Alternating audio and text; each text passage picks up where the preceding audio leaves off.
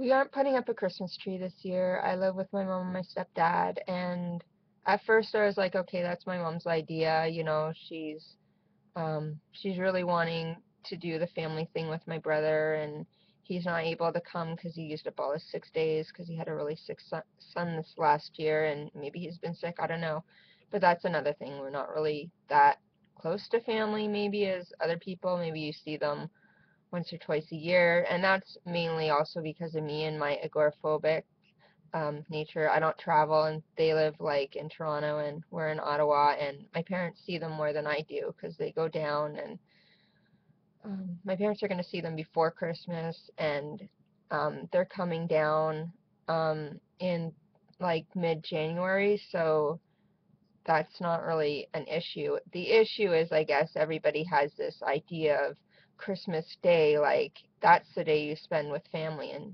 stuff like that. But um, my family will probably be, you know, online. I know when I feel lonely and stuff, like I push myself not to lie in bed and stuff. Like I push myself to maybe go on Twitter, go on Facebook, see what my friends are up to.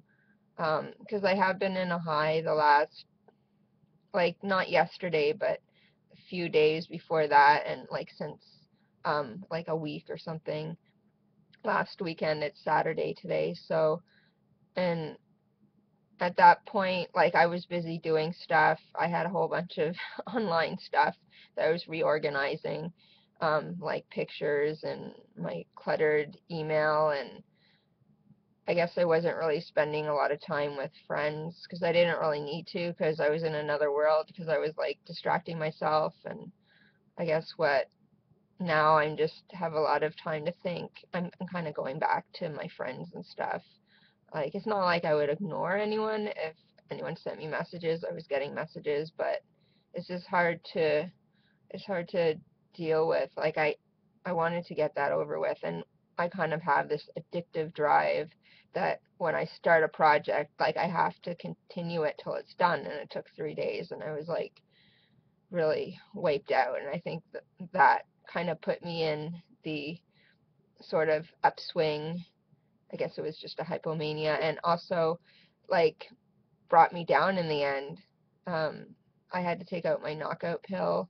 My knockout pill is Zyprexa, and that kind of brought me down again. So, um, and I had put this monitor to show you my cats, but they seem like they're not existing um, at the moment. They really, really want to go outside, but it's like very cold out.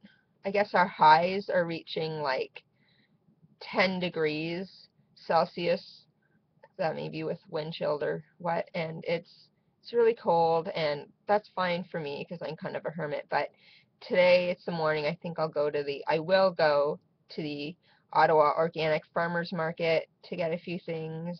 Um, especially things that I find are hard to get at other stores, and they're pretty close to me. So I think that that's what I'll do. But again, because I'm depressed again, like I have to kind of push myself. Like even when I was in my hypomanic, I wasn't really doing anything like social or going outside. It was just like doing stuff that other people would probably think is no big deal, like cleaning up. So I don't know what people say when they're like, it's so great, you get so much work done. Like I get it, like yeah i did a lot of stuff online and stuff but i couldn't do anything useful like it's not a useful emotion either way i think i think once again a balance is maybe the most useful emotion you could ever have